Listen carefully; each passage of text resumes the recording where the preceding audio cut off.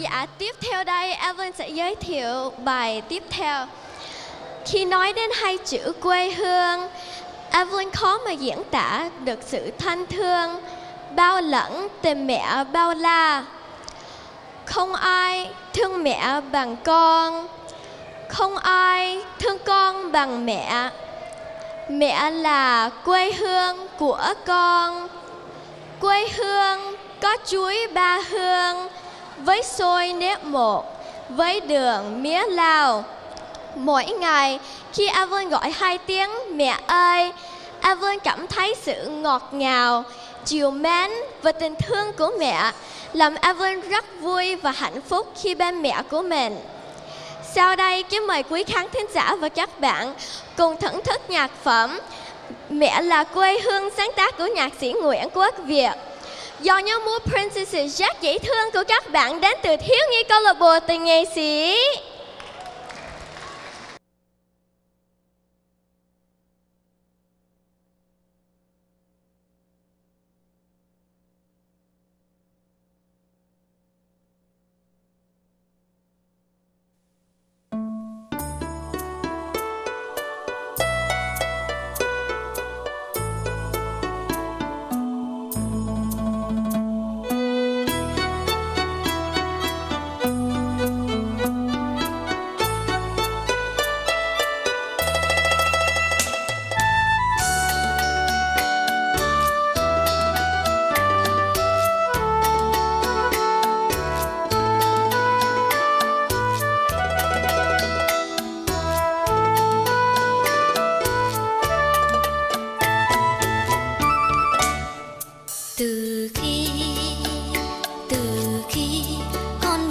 biết nói. Trên môi đã vang tiếng mẹ.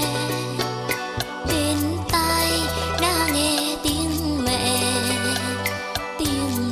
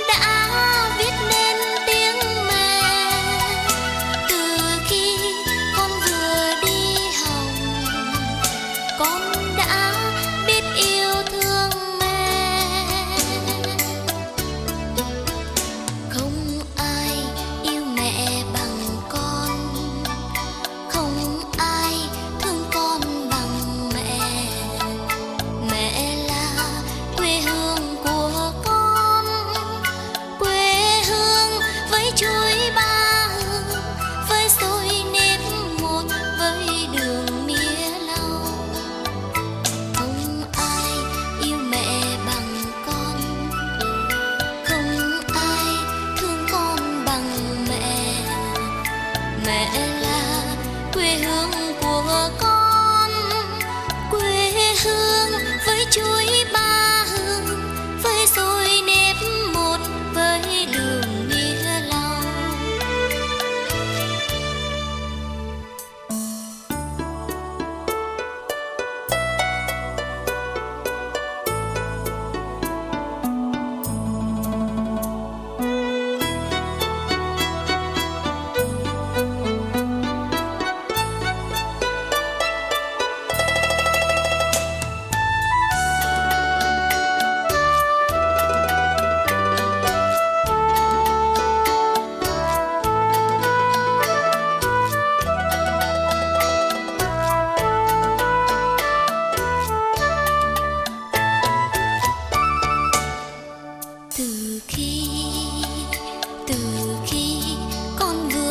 biết